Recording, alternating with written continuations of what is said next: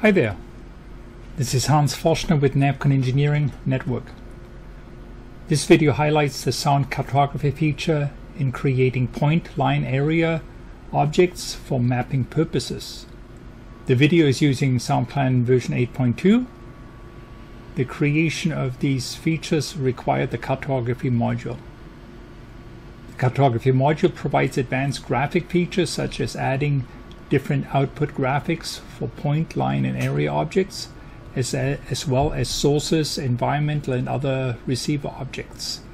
In this video, I will show how to copy an object layout, such as an area, and create a, a project boundary layout, and then assign that to the project object types.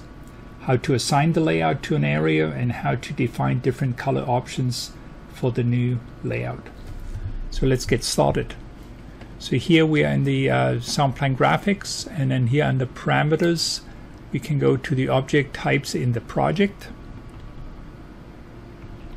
When I open this up I uh, will go to the uh, general objects and I'll find here one of the layouts is area.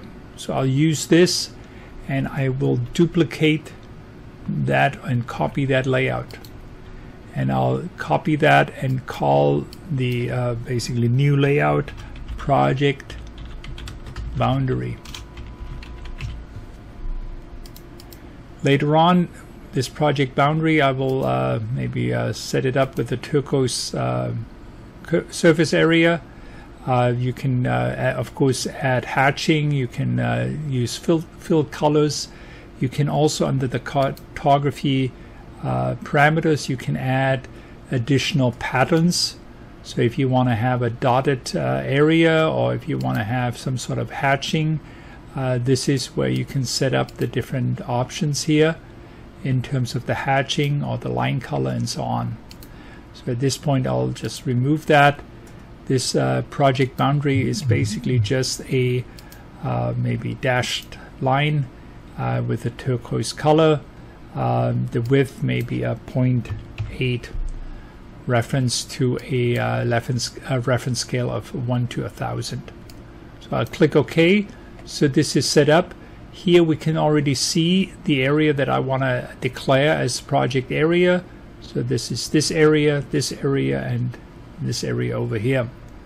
So let me save this and now I go back to the geodatabase, open up the geodatabase,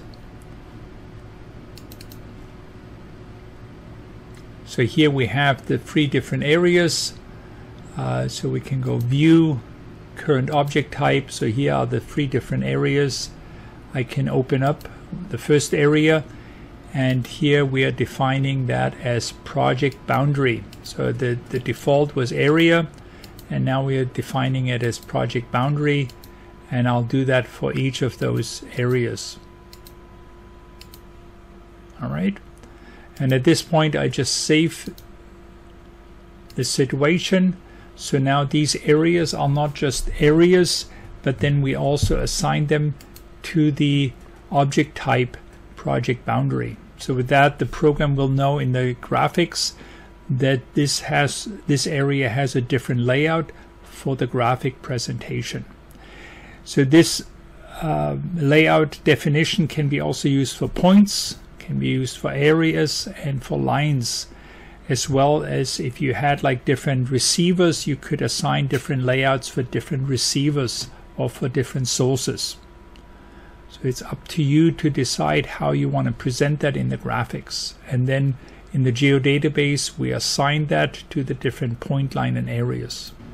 So I go back to the SoundPlan graphics and reload the uh, sheet with the topo map and the new project boundaries.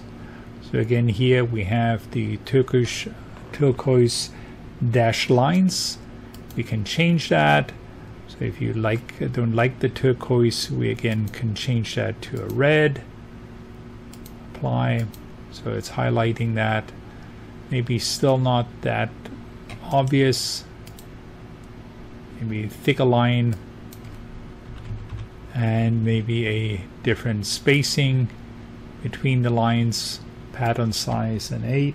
or 10 all right. So here we have now thicker dotted lines.